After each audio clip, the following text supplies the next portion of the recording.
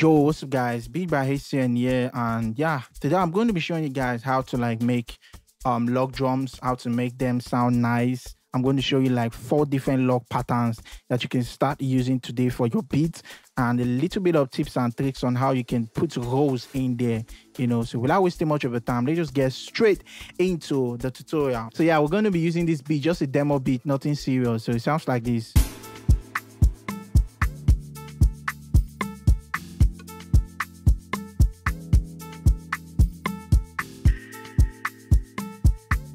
So yeah. And this is going to be like the first phase. I'll actually make more videos like with time. If you guys like this kind of um tutorial I'll make more videos just to help you guys improve on your log drums. Okay. Okay yeah before we get into this i just want you guys to know that there's no there's no um like a must of what you do on your log drums. I just want to like show you guys few tips and tricks that you can use to like improve on your log drum basically. That's just what this video is all about. And some log drum pattern i feel like you should know. So yeah for this one i'm going the first log drum pattern i'm going to be showing you guys is called a house log i like personally that's what i call it. It's like used for amapiano house music. So and i feel like when you want to do this kind of log drum uh, i don't like putting in piano or sound. I just basically want the drums to hit you know and this is what it sounds like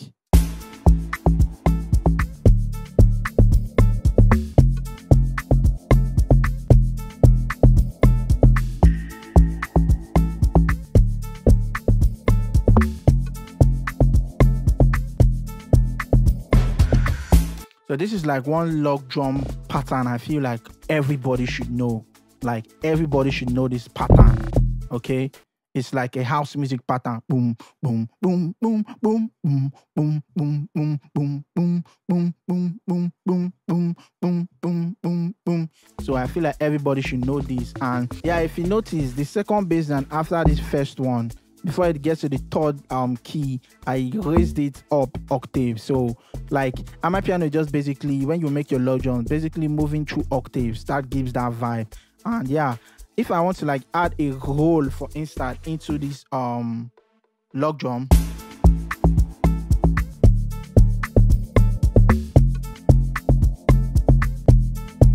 I will add it in the second part. Like I'm going to add it in this one that I took up the octave, for instance, and I like to turn my stuff to narrowest when making um my rolls. So let's hit this like this and let's see what it sounds like.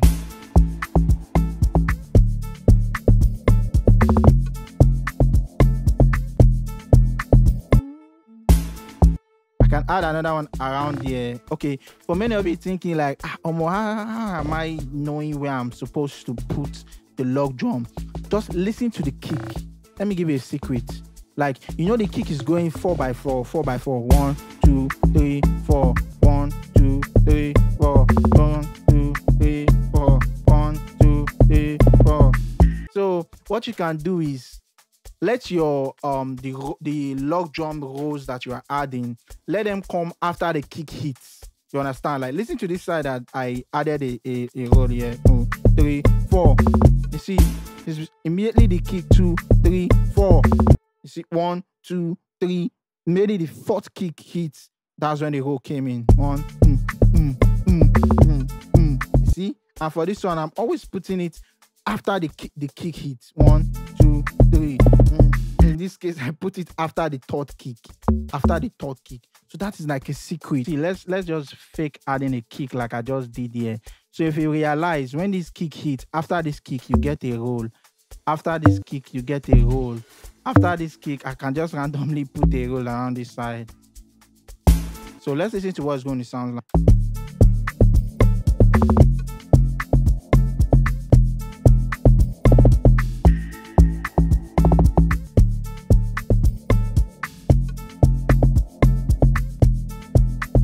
This one too after the kick hit.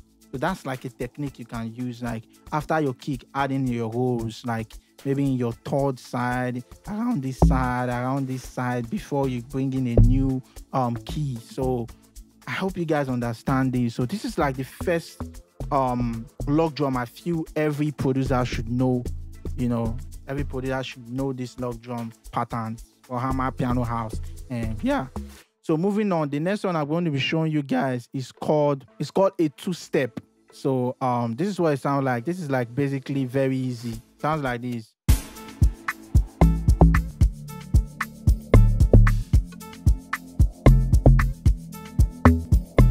So it's like the name says, mm, one, two. See, I'm just doing one, two, you know? One, two.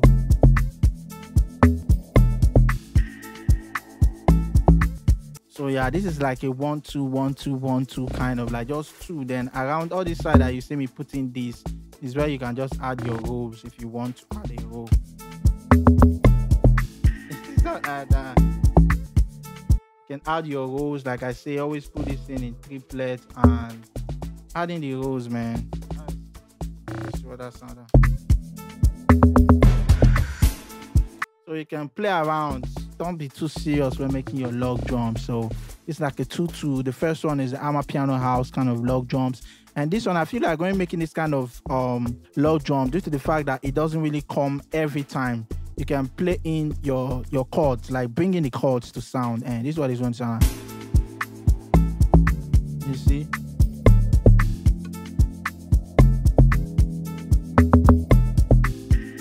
So like this is like start using this on your beat, copy this if you like.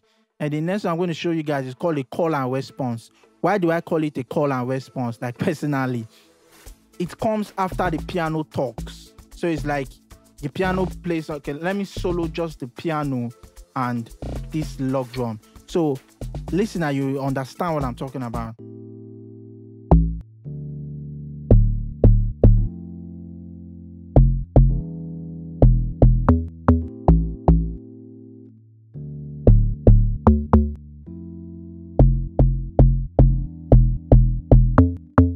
So you can see the log drum comes in after the piano speaks.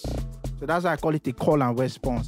And it's not compulsory you like fixing the way I'm fixing it. You can be more creative and yours can even sound better than what you are hearing right now. I'm just trying to give you guys like a guideline that you can use to get that good log drums. Okay. So for this third one, like I said, it's a call and response. Whatever beat you're making, after the piano plays, you respond with your log drum. Like they're having a communication. And yeah, let me bring in this drum loop so that like this so that we can have a better feel of what it sounds like. So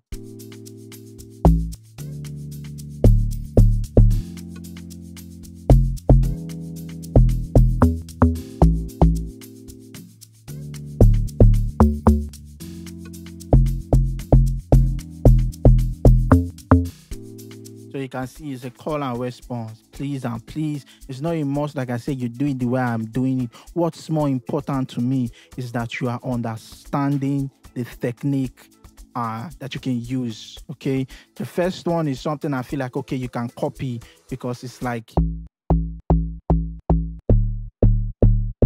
it's like compulsory for everybody to know. Okay. So please, please, please, please remember, remember, remember, call and response. The next one I'm going to show you is called a trial. Like these names are just personally named by me, oh, so it's not like ah, you get. Yeah, it sounds like this.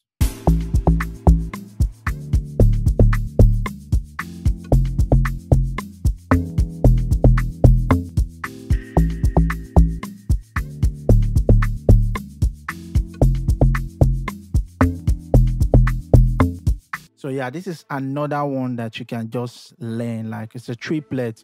And the good thing about what I'm showing you is you can start with these four patterns that I've showed you right now and build with it. Okay. When you are building with it, just going octaves higher, octaves lower, octave higher, octave lower. For instance, let's say, okay, I learned this one now and I say, ah, I want to use this one to create my own. And I lay down what I've just laid already and I want to add more things. So I'll just be creative and this is the octave of this right? I just put in something here then you see i can put that there and i can decide to like add a roll or something. So let's do that.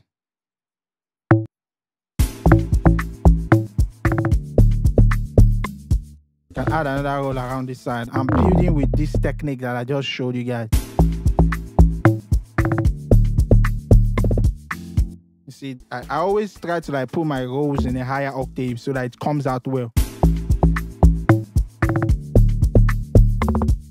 Add another roll around this side. Like I said, I'm building with this um pattern that I just showed you guys. I'm trying to show you that this can be like a starting point for you guys. That's the um benefit of knowing this technique that I'm showing you guys. Okay. That's the benefit. Can use that as a starting point and you start building your own log drums. Let's take this off.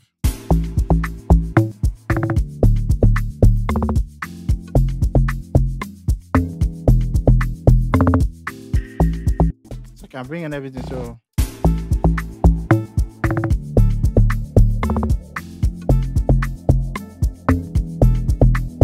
So like take your time. Like now I have to take my time and beat something nice. You understand?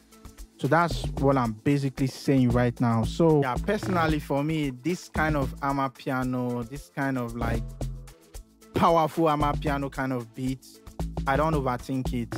I just play around. Like I say, just know you're playing with your root notes. Don't think it like something like this now. I didn't really think it. So I don't really know how to explain this thing so that you understand. But this is what it sounds like. This part of the song, the log drum I use.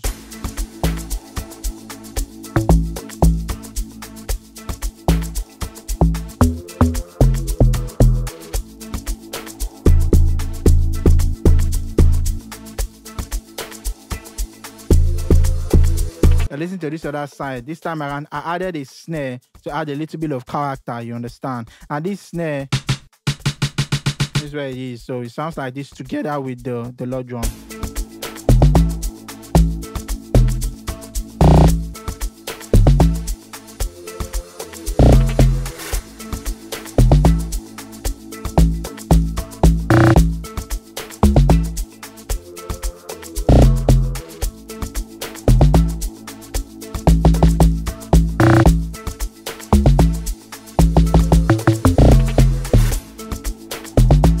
This kind of log drum now, I didn't really think much. You understand? Um, but if you want to make log drums like this, let me show you like something that you need to know. A log drum pattern you need to know. You see this to the doom is something that you must know. Like to doom, just put that in your head when you're making your log drum. You that to the doom, let's see that this particular one right here. here. Is another one you have to know first one sounds like this. No matter how you're laying your log drums, remember to add this. Then remember to add this something like this as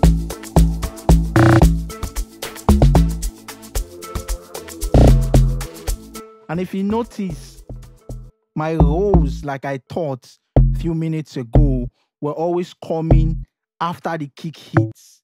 You see what I told you guys? After the kick hits, mm, krum. like if you did not learn anything at all in this whole video and you just remember that your role should come in after sorry I have our factor so not whole role.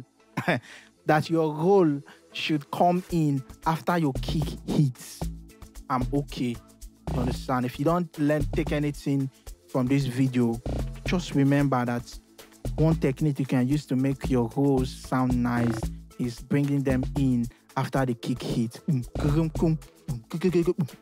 we're just basically going octave higher, octave lower. Please, if you can take this, only this one, say, if you can take it like this, I'm okay, I'm satisfied. You know, every other thing in log drum is just basically your creativity. And if you can rewatch this video multiple times and just learn those four patterns that I just showed you guys, and you can use it to like work more on your um log drums. Um just let me know. And if you feel like this video didn't really make justice to um the log drum tutorial feel free to let me know. I'm ready to make 100 videos of log drum tutorial as long as you guys get it. I'm okay. You understand? So if this video i've just done now is not enough for you guys let me know in the comment section and I will try my best to do another log drum video and do multiple and multiple log drum patterns for you guys. I feel like okay, patterns should even be good. Maybe I'll do another four log drum pattern so that I feel that would be good. Another log drum pattern for you guys. So yeah, takeaways from this. Your log drum start with your root notes. Don't think much about it. Just play around with your keys. Hit them, boom, boom, boom, boom, then do, do, do, do, boom, boom. Then you come back here and fix it. Okay, your rolls. Always put your rolls after the kick hits, you know, around this side, maybe around this side, around this side, just after the kick hit, boom, boom, add your rolls. So I think this is like basically everything that I can say. And for log drums, like this kind of log drum, you want to add a little bit of snare underneath it, you know, that live snare drums to like make it sound um a little bit aggressive and nice, you know, and yeah, this is what I mean. And